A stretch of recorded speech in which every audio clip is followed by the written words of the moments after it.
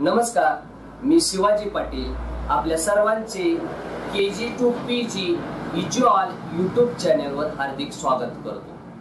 आपल्या शैक्षणिक प्रगतीसाठी अवश्य के जी टू पी जी इज्युअल हे चॅनेल पाहत राहा. खाली दिलेल्या सबस्क्राईब बटनवर क्लिक करा मोफत सबस्क्राईब करा. त्याचे वर्गणार बना. व्हिडिओ पूर्ण पहा. आपल्याला व्हिडिओ आवडल्यास त्याला जरूर लाईक करा.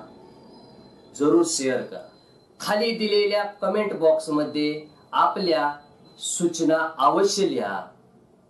माझे हे व्हिडिओ अवश्य पहा.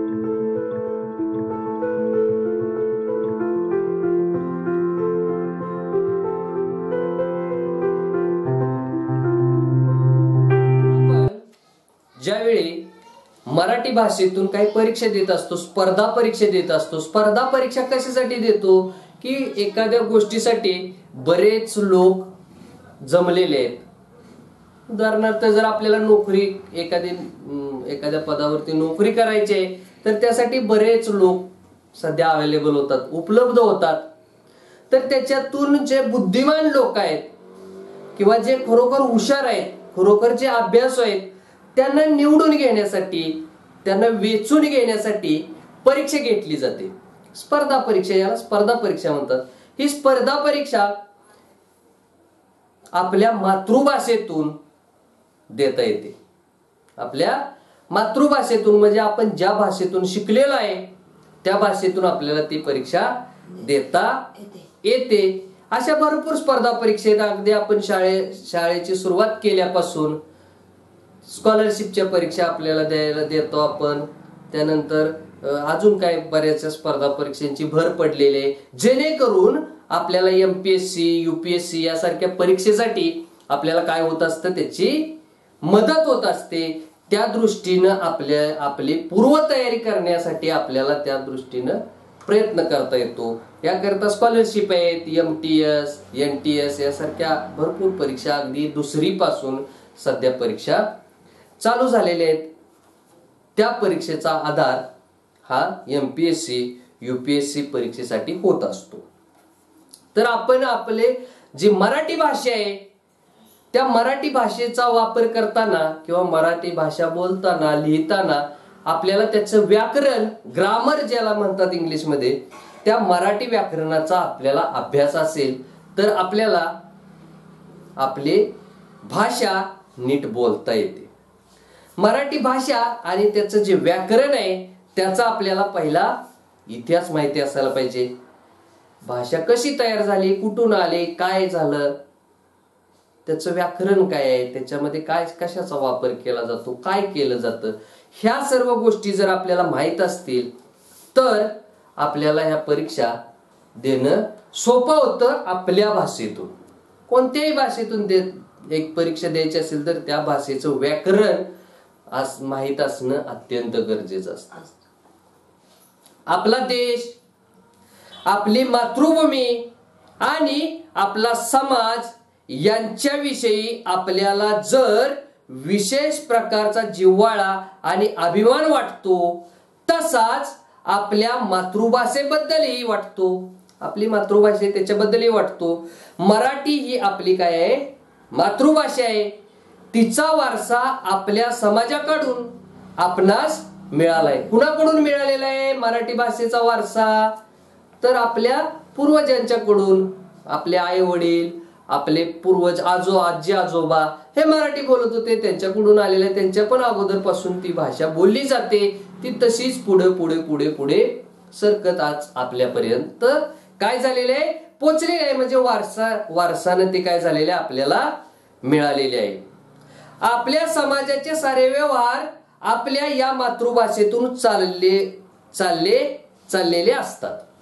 आपली जी मातृभाषा आहे आपल्या शेजारच्या आपल्या परिसरातील आपल्या तालुक्यातील आपल्या गावातील जिल्ह्यातील आपल्या राज्यातील सर्व लोक काय करत असतात? आपल्या मराठी भाषेतून बोलत असतात. त्यामुळे जो काय व्यवहार होतो भाषेचा तो आपल्या मातृभाषेतून म्हणजे आपल्या मराठी या भाषेतून होत असतो. प्रत्येक राज्याची वेगवेगळी भाषा असते. गुजरातमध्ये गेलं तर गुजराती भाषा आहे. तमिळनाडूमध्ये गेलं तर तमिळ आहे. कर्नाटकमध्ये गेलं तर कन्नड आहे. अशा पद्धतीनं प्रत्येक राज्याची वेगवेगळी भाषा आहे. त्या राज्यामध्ये काय केलं जातं? त्या त्या भाषेतून बोललं जातं. तसंच आपली भाषा काय आहे? मराठी. ही आहे. गेल्या कित्येक पिढ्यापासून आपल्या भाषेत नवनवीन शब्दांची भर पडत आलेली आहे. आतापर्यंत प्रत्येक भाषेतून असतील संस्कृत मधून किंवा इतर भाषेतून काही शब्द उचलून घेऊन घेऊन आपल्या भाषेची काय झालेली आहे? वाढ झालेली आहे. भाषेमध्ये शब्दांची भर पडलेली आहे. शब्दांची भर पडत गेल्याने ती समृद्ध बनली आहे. समृद्ध झाले आता आपण भाषा सहज बोलू शकतो. एवढे शब्द त्याच्यामध्ये उपलब्ध झालेले आहेत. बनलेले आहेत. लहानपणी आपण विशेषतः आपल्या मातेकडून ही भाषा शिकतो. मातृभाषा का म्हणतो आपण? आपल्या भाषेला ज्या भाषेमध्ये बोलतो. तर लहान बाळ जन्माला आल्यानंतर काय करत असतं ते बाळ? तर आई जे शब्द उच्चारत असते आई जे शब्द बोलत असते ते शब्द बोलण्याचा प्रयत्न करते. त्या शब्दावर काय कृती करते आई? हे पाहतं मग त्याला समजतं की ह्या शब्दाचा हा अर्थ आहे. तो त्याच्या कृतीतून समजून घेत असतो. लहान बाळ त्याच्या म्हणून त्याला मातृ मातृ म्हणजे आई. मातृभाषा आईकडून मिळालेली भाषा आईच्या भाषेतून बोलते. त्याच भाषेमध्ये काय केलं जातं? तिचं बाळ जे असतं लहानपणीचं बाळ जे असतं लहान बाळ जे असतं ते त्याच भाषेमध्ये बोलायला सुरुवात करतं शिकतं. म्हणून त्याला काय म्हणतात? मातृभाषा असं म्हणतात. मातृभाषा कशासाठी म्हणतात? की आपले आई वडील ज्या भाषेतून बोलतात त्याच भाषेमध्ये त्यांचं बाळ जे असेल ते बोलायला सुरू करतं. पहिला शब्द त्या भाषेतून बोलत असतं. त्यामुळं त्याला मातृभाषा म्हणतात. त्यामुळं आपल्याला मातृभाषेतून शिकलेलं कधीही काय होतं? आपल्याला सर्व गोष्टी समजून घेण्यासाठी ती भाषा योग्य ठरते. मातृभाषेतून शिकणं योग्य ठरतं. मातृभाषेचं महत्त्व काय असतं? तर आपल्या मनातील विचार व भावना आपण आपल्या मातृभाषेद्वारे व्यक्त करत असतो. आपल्याला जर काही वाटत असेल एखादी गोष्ट एखाद्या गोष्टीबद्दल आपला विचार मांडायचा असेल आपल्या गोष्टी आपल्या एखाद्या गोष्टीबद्दल आपल्याला ज्ञान घ्यायचं असेल तर आपल्या मातृभाषेतून जेवढं आपल्याला समजतं तेवढं इतर भाषेतून आपल्याला समजत नाही. कारण आपल्या बोली भाषेतून बोलण्यातून वाचनातून इतर बऱ्याचशा गोष्टीतून शेजारी चाललेल्या चर्चेतून आपल्याला आपल्याकडे काय येत असते? शब्द संपदा येत असते. त्या शब्दाचे अर्थ त्या त्यावेळी आपल्याला समजत असतात. आपल्या भाषेतून असल्यामुळे आपल्या भाषेतून त्याला काय त्याचे अर्थ आपल्याला समजत असतात. त्यामुळं काय होतं की आपले विचार मांडण्यासाठी आपल्याला बरं पडतं. त्या शब्दाचा अर्थ आपल्याला काय असतो? माहीत असतो. त्या शब्दाचा अर्थ आपल्याला माहीत असतो तो कुठं वापरायचा हे आपल्याला माहीत होतं. त्यामुळं आपल्या भाषेतून मातृभाषेतून आपल्याला उघडपणे किंवा व्यवस्थित काय करता येतं आपल्या विचार आपल्या भावना आपल्याला व्यक्त करता येतात. हम्म आपल्या मनातील विचार मंथन आपल्या मातृभाषेतूनच चालू असते. आपल्याला जे विचार येतात ते पण आपल्या मातृभाषेतूनच येतात. आपण जे विचार करतो ते पण मातृभाषेतूनच करतो. आपण मराठीमधून शिकतोय तर आपण सहज एखाद्या गोष्टीचा विचार करत बसलो असेल तर आपण इंग्लिश मधून त्याचा विचार करणार आहे का? नाही करणार. कारण आपण आपल्या भाषेतून त्याला पर्यायी शब्द माहीत असतात आपल्याला. एखादी गोष्ट असेल एखाद्या डोंगरावरती आपण गेलेलो आहे किंवा एखाद्या पर्वतावरती आपण बसलेलो आहे सूर्याकडे बघत बसलेलो आहे पाखर भिरभिरत आहेत किंवा थव्यानं उडून जात आहेत ह्या सगळ्या गोष्टीचा आपण निवांत हात जोडून तिकडे बघत बसलो असेल तर आपण आपल्या भाषेत विचार करू. का परकीय भाषेत आपण विचार करू शकेल? का आपण कन्नडमध्ये विचार करू शकेल का? तर आपण कन्नडमध्ये नाही विचार करू शकणार. आपल्याला शब्दच माहीत नसतील. आणि शब्दाचं लिमिटेशन येईल. दुसऱ्या भाषेतून आपल्याला ज्यावेळी विचार करायचा असेल त्यावेळी शब्दाचं लिमिटेशन येईल. त्या शब्दाबद्दल त्याला अर्थ काय आहे? त्या शब्दाचा अर्थ काय आहे? हे आपल्याला माहीत करून घ्यावं लागेल. म्हणजे ती गोष्ट आपल्याला काय करावी लागेल? परत शिकावी लागेल. त्याचा अभ्यास करावा लागेल. मातृभाषेचं तसं होणार आहे का? नाही. आपण रस्त्याने चाललो असेल तरी आपल्या शब्द कानावरती पडतात. त्यातून आपण ती भाषा शिकत असतो. एखादी घटना चालू आहे. एखादा काहीतरी घटना चालू असेल. तर तिथं चाललेल्या संवादावरून आपल्याला त्या ठिकाणी काय चालू आहे? कशाबद्दलचा संवाद चालू आहे? हे आपण समजू शकतो. कारण आपल्या भाषेतून तो संवाद चालू असेल. आपल्या भाषेतून संवाद चालू असेल तर काय होतं? तर काय संवाद आहे? किंवा याच्या अगोदर कशावरती विचार मंथन चाललेलं आहे हे आपल्याला समजून घेता येत. तेवढी शब्द संपदा आपल्याकडे लहानपणापासून आपल्या कानावरती ते शब्द पडल्यामुळं त्या शब्दाचे सर्व अर्थ माहीत होत जातात.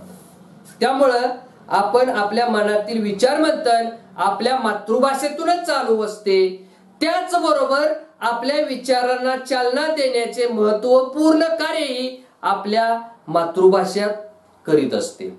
आपल्या विचाराला चालना द्यायचं काम पण आपली मातृभाषेत. देत असते. एखाद्याने एखादी गोष्ट आपल्या शेजाऱ्यानं आपल्या मातृभाषेतून आपल्याला ती गोष्ट सांगितली तर आपण त्याच्यावरती विचार करू शकतो. लगेच समजून घेऊ शकतो.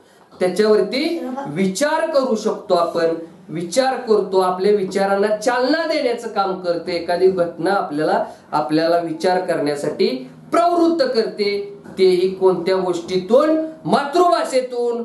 आपला मनोपिंडच मुळी आपल्या मातृभाषेवर पोचला जातो. आपला मनोपीठ आपलं मनच आपल्या मातृभाषेकडं ओढ घेत असतं.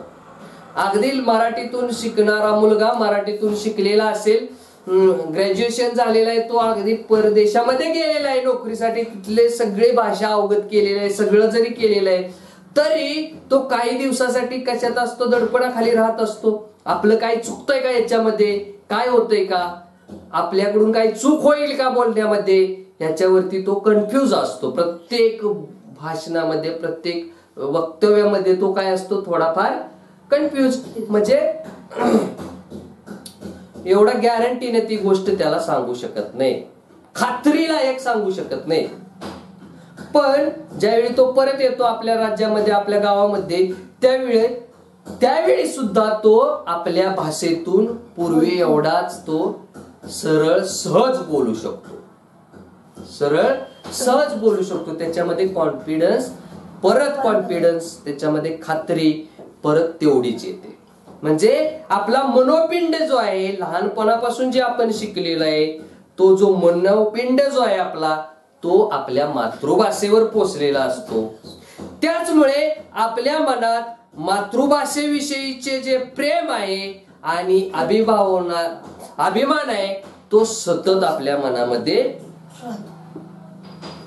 स्थान मांडून बसलेला असतो तेवत राहिलेला असतो. आता मराठी भाषेची उत्पत्ती कशी झाली ही पण आपल्याला माहीत पाहिजे. उत्पत्ती. उत्पत्ती म्हणजे सुरुवात मातृभाषा कशी जन्माला आली उत्पत्ती जन्म तिचा कसा झाला हे माहीत असायला पाहिजे. आपली ही मातृभाषा संस्कृत भाषेच्या प्राचीन समृद्ध परंपरेतून जन्मास आलेली आहे. म्हणजे पूर्वीची आपली काय आहे? संस्कृत भाषा आहे. त्या संस्कृत भाषेमधून आपली मातृभाषा जी मराठी मातृभाषा आहे ती प्राचीन समृद्ध परंपरेतून काय झालेली आहे? जन्माला आलेली आहे. आहे. कसे आलेले आहे बघ संस्कृत? संस्कृत मधून काय झालेलं आहे? तर महाराष्ट्री प्राकृत मध्ये त्याचं रूपांतर झालेलं आहे. संस्कृत भाषेचं महाराष्ट्री महाराष्ट्रामध्ये महाराष्ट्री प्राकृत भाषेमध्ये त्याचं रूपांतर झालेलं आहे. त्यानंतर महाराष्ट्री अपभ्रंश झालेला आहे त्या भाषेचा आणि नंतर मराठी अशी ही परंपरा आहे. नंतर त्याची मराठी भाषेमध्ये रूपांतर झालेलं आहे. अशी त्याची ही परंपरा आहे. कशी? संस्कृत. संस्कृत मधून महाराष्ट्री प्राकृत मराठी प्राकृत मधून महाराष्ट्र महाराष्ट्री प्राकृत महाराष्ट्री प्राकृत मधून त्याचा अपभ्रंश झालेला आहे.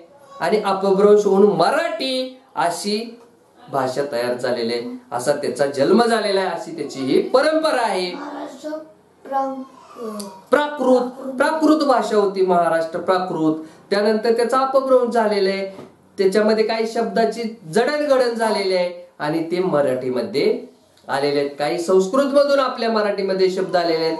काही हिंदी मधून आलेले आहेत. काही इंग्लिश इंग्रजी मधून आलेले आहेत. प्रत्येक भाषेतून काय झालेले आहेत? आपल्या ह्याच्यामध्ये मराठी भाषेमध्ये आपण शब्द उचलून घेतलेले आहेत. आणि त्याच्यापासून आपली मराठी भाषा तयार झालेली आहे. त्यामुळे मराठी भाषेतील बहुतेक शब्द प्रामुख्याने संस्कृत संस्कृत भाषेचे बरेचसे शब्द संस्कृत भाषेतून आलेले आहेत. संस्कृत प्राकृत व अपभ्रंश या भाषामधूनच आलेले आहेत. अपभ्रंश भाषेतून काय आलेले आहेत? संस्कृत भाषेतून प्राकृत भाषेतून असे काय झालेले आहेत? आपल्या मराठीमध्ये काही शब्द आलेले आहेत. सुमारे हजार बाराशे वर्षापूर्वी मराठी भाषा या परंपरेतून समाज व्यवहारात आली. जवळजवळ बाराशे हजार ते बाराशे वर्षापूर्वी. पाठीमाग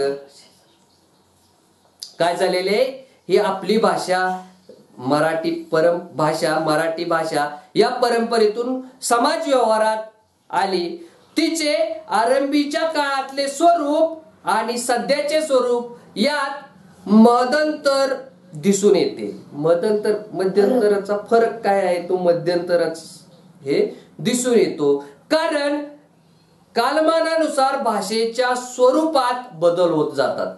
कालमान जसं बदलत जाईल त्या पद्धतीने काय होत जातं? त्याचं स्वरूप बदलत जातं. सध्या मराठीमध्ये पण काही हिंदी शब्द मोठ्या प्रमाणात वापरले जातात. काही इंग्रजी शब्द मोठ्या प्रमाणामध्ये वापरून आपली भाषा समृद्ध होते. हम्म? भाषेमध्ये वापरले जातात. आपले मराठी वाक्यामध्ये पण काही इंग्लिश शब्द वापरून आपण मराठी भाषा पूर्ण करतो. वाक्य पूर्ण करतो मराठीतून. असे स्व काय होता जातं? भाषेचं स्वरूप बदलत जातात. ती नदीच्या प्रवाहासारखी असते. नदीच्या प्रवाहासारखी सारखी बदलत राहणारी अशी असते. नदीचे पाणी जस जसे वाहत जाते तस तसे ते निर्मळ होत जाते. भाषेची तसेच आहे. काल प्रवाह काल प्रवाहात भाषा सुद्धा नितळ होत जाते समृद्ध होत जाते नितळ होत जाते शुद्ध होत जाते भाषा. पुढे पुढे शुद्ध होत जाते. तिच्यात सुगमता येते. सुगमता वेगवेगळे सोपे शब्द येतात सुगमता येते. लालित्य येते. तसेच मार्दवही येते. व ती ओघवती बनते. व ती काय होते? ओघवती बनते. मराठी भाषेला आजचे स्वरूप असेच प्राप्त झालेले आहे. ओघवती म्हणजे? ओघा ओघाने बदलत जाणारे ओघ ओघ ओघ घेणारे बदलत जाणारे शब्द नवीन शब्द शब्द भरणा झालेला आहे. नवीन शब्द त्याच्यामध्ये आल्यानंतर काय होतं? नवीन शब्दाचं भर पडल्यानंतर त्या शब्दाचा वापर केला जातो आणि प्रवा नदीच्या प्रवाहासारखी त्याच बाजूला ती झुकताना दिसते. नितळ होत जाते शब्दात शुद्धीकरण येत जातं शुद्ध शब्द बोलले जातात. त्यातून शब्दांची रचना बदलत जाते. ओगाओगाने हे होत राहतं. मराठीचे आजचे स्वरूप कसे आहे हे पण आपल्याला पाहायला पाहिजे. मध्ययुगातील सुमारे पाचशे वर्षाच्या मुसलमानी आमदानीत फारसी व अरबी या राजघरा राजव्यवहाराच्या भाषा होत्या. पाचशे वर्षापूर्वी पाचशे वर्षापूर्वी काय होतं? तर मुसलमानी आमदानी होती. म्हणजे मुसलमानांचं राज्य आपल्या राज्यामध्ये होतं. मुसलमानीचं राज्य होतं. त्यावेळी काय झालं? फारसी शब्द अरबी शब्द ह्या त्या राज्य भाषे व्यवहार त्या राज्याचा व्यवहार ह्या भाषेतून चालायचा त्यामुळे काय झालेलं आहे? या भाषामधून शेकडो शब्द मराठीत आले व रूढ होऊन गेले. त्या फारसी भाषेतून अरबी भाषेतून काय झालेले आहेत? काही जसेच्या तसे शब्द आपण काय केलेले आहेत? उचलून आपल्या मराठी भाषेमध्ये घेतलेले आहेत. रूढ पण झालेले आहेत ते आज आपण वापरतो पण. त्यानंतर काय झालेलं आहे? इंग्रजांच्या राजवटीत शिकण शिक्षणाचा प्रसार मोठ्या प्रमाणात झालेला आहे. शिक्षणाचा प्रसार झालेला आहे मोठ्या प्रमाणात. व इंग्रजी ही राज्यभाषा बनली. त्यावेळी काय झालेलं आहे? इंग्रजी ही राज्यभाषा बनली. तिचा प्रभाव तिचं प्रभुत्व तिचा प्रभाव मराठी भाषेवर मोठ्या प्रमाणात पडला. मराठी भाषेत पडलेला आहे त्याचा प्रभाव पडलेला आहे इंग्रजीचा. इंग्रजी भाषेतून राज्यभाषा झालेली आहे. मराठी भाषेवर मोठ्या प्रमाणात त्याचा काय झालेला आहे? प्रभाव पडलेला आहे. शेकडो इंग्रजी शब्द मराठीत रूढ झालेले आहेत. शेकडो शब्द टेबल खुर्ची हे कुठले शब्द आहेत? टेबल. खुर्ची हे इंग्रजी. इंग्रजी शब्द आहेत. ते आपण जसेच्या तसे घेतलेले आहेत आणि ते आज पण वापरतो. आजही आपण त्याला ते शब्द वापरतो. मराठीमधून वापरतो. म्हणजे काय झालेले? इंग्रजीतून असे भरपूर शब्द काय झालेले आहेत? मराठीमध्ये आलेले आहेत आणि ते मराठीत रूढ झालेले आहेत. मराठी वाक्यरचनेनं मराठी वाक्यरचनेवरही इंग्रजीचा प्रभाव पडला. इंग्रजी भाषेचा काय झालेला आहे? प्रभाव पडलेला आहे. इंग्रजी व्याकरणाचा साच्या समोर ठेवून आरंभीची व्याकरणे लिहिली गेली. इंग्रजी भाषेचं जे व्याकरण होतं त्याचा काय केलेलं आहे? त्याचा जो साचा आहे जो जी पद्धत आहे ती काय केलेली आहे? आत्मसात करून ते त्याचा वापर ती कशी आहे त्याचा अभ्यास करून त्या पद्धतीनं आरंभीचं व्याकरण हे काय केलेलं आहे लिहिलं गेलेलं आहे. याच काळात पोर्तुगीजांचा व फ्रेंचांचाही राजकीय दृष्ट्या महाराष्ट्राशी संपर्क आलेला आहे. पोर्तुगीज आले होते त्यानंतर फ्रेंच. आले होते. त्यांच्या पण काय झालेलं आहे आपल्या महाराष्ट्राशी संपर्क आलेला आहे. त्यामुळं काय झालेलं आहे त्यांच्या भाषेतील अनेक शब्द मराठीत आलेले आहेत. त्यांच्या पण भाषेतून पोर्तुगीज भाषेतून फ्रेंच भाषेतून पण शब्द आलेले आहेत. सभोवताच्या राज्यातील हिंदी गुजराती तेलुगू कन्नड तमिळ व मल्याळम या भाषा भगिनीकडून शेर धर्म शेजार धर्माचे अनेक शब्द मराठीला मिळालेले आहेत. म्हणजे शेजार धर्म आपल्या जवळचे राज्य आहेत. कुठले हिंदी राज्य बऱ्यापैकी हिंदी बोललं जातं. गुजराती आहे. गुजरात आपल्याला जवळ आहे.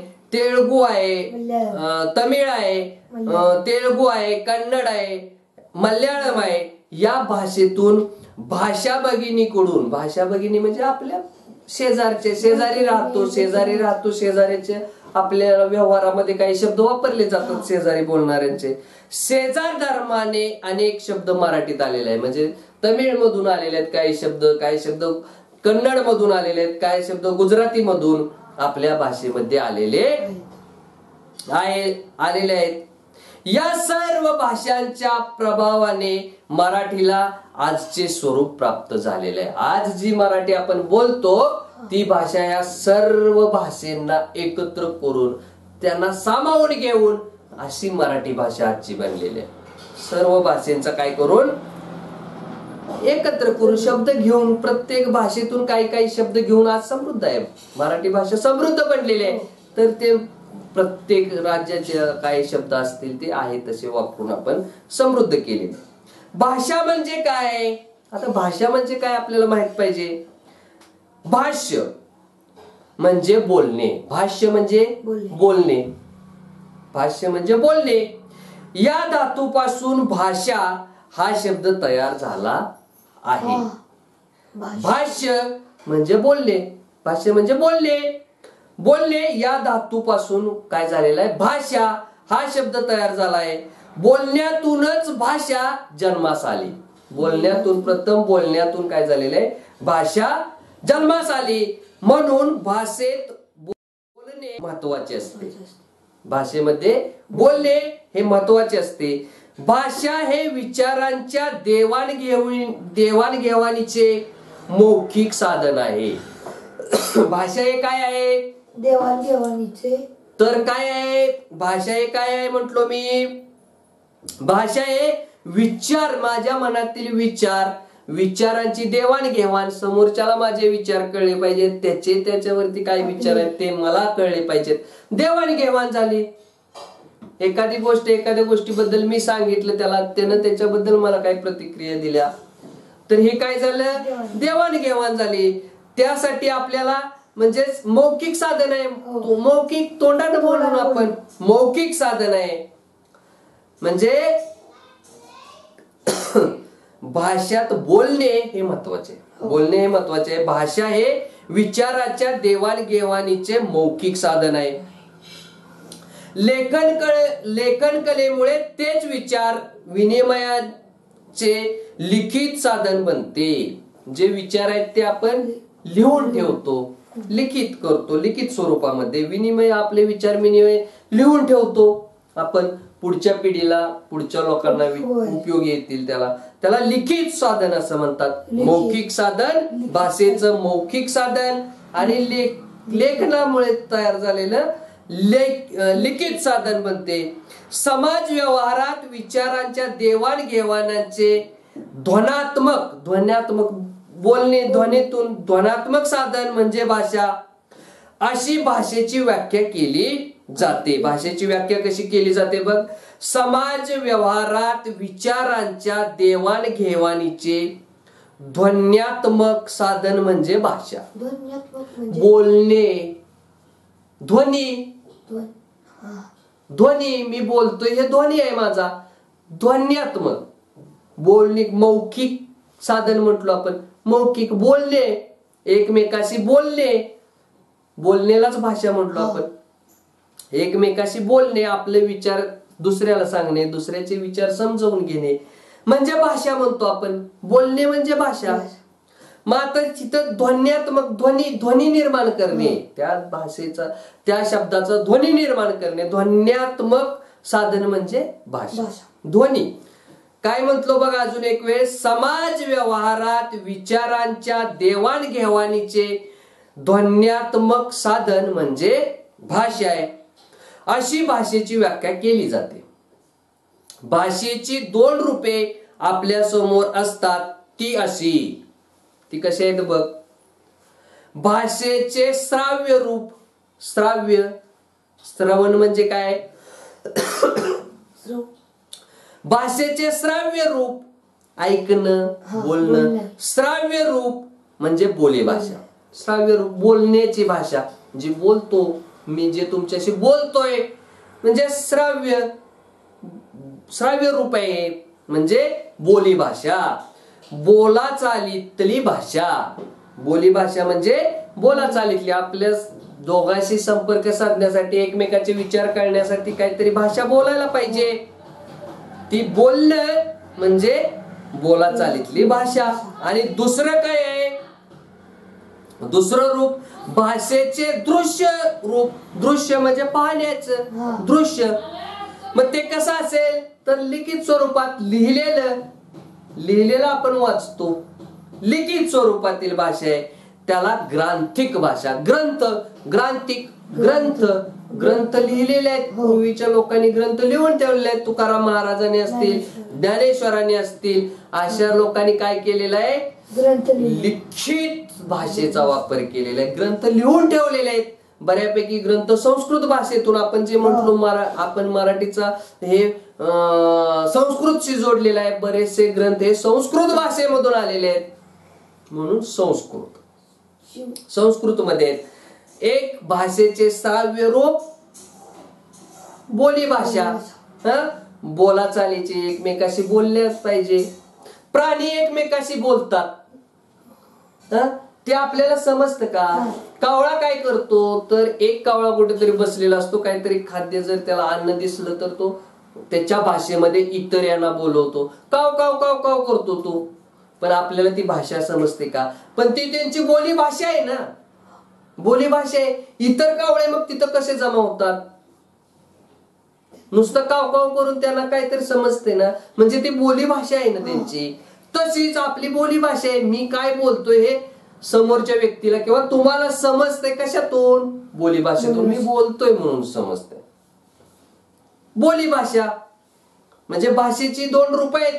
हो. भाषा वापरायची असतील तर दोन रूपामध्ये भाषा वापरली जाते. एक श्राव्य ऐकून घेण्यासाठी बोलण्यासाठी जी वापरली जाते ऐकून घेणे बोलणे. बोली भाषा त्याला म्हणतात. बोला चालीसाठी वापरली जाते. आणि दुसरी काय आहे? दृश्य रूप भाषेचे दृश्य रूप दृश्य म्हणजे पाहण्यासाठी भाषा असेल. मग ती लिखित सु- भाषा असेल. मग आपण फक्त मराठीमध्ये शब्द लिहिले हे तर आहेच. पण काही चित्रातून पण आपण आपली भाषेचे कलेचा किंवा भाषेचा हे दाखवू शकतो. पूर्वीचा त्या लिपीचा वापर केला जायचा. कला काढून कलेतून काय समजावून सांगितलं जायचं. असे आपल्याकडे काय आहेत? दोन. दोन रूप आहेत. कशाची? आपल्या भाषेची किंवा भाषेची दोन रूप आहेत एक लिखित स्वरूपात आणि एक बोली भाषेची. मौखिक बोली भाषे बोला चालीसाठी वापरणारी भाषा. यानंतरच्या भागामध्ये आपण बोली भाषा म्हणजे काय आणि लिखित भाषा म्हणजे काय? पूर्वी बोली भाषा वापरली जायची. त्यानंतर लिखित भाषा पण पूर्वी काय वापरली जायची? ती कशी? ती काय? हे आपण पुढल्या भागामध्ये पाहणार. आहोत. हे जे व्याकरणचे भाग आहेत हे पाहत राहायला पाहिजे. पाहत राहा व्हिडिओ माझे हे पाहत राहा. पुढचे भागही पाहत राहा. त्याचबरोबर काय करायला पाहिजे? आपल्याला त्याचा पूर्ण अभ्यास केला तर आपण मराठी भाषेतून ही उत्तम प्रकारे कोणती स्पर्धा परीक्षा किंवा आपण समाजामध्ये उत्तम प्रकारचे वक्ते बनू शकतो.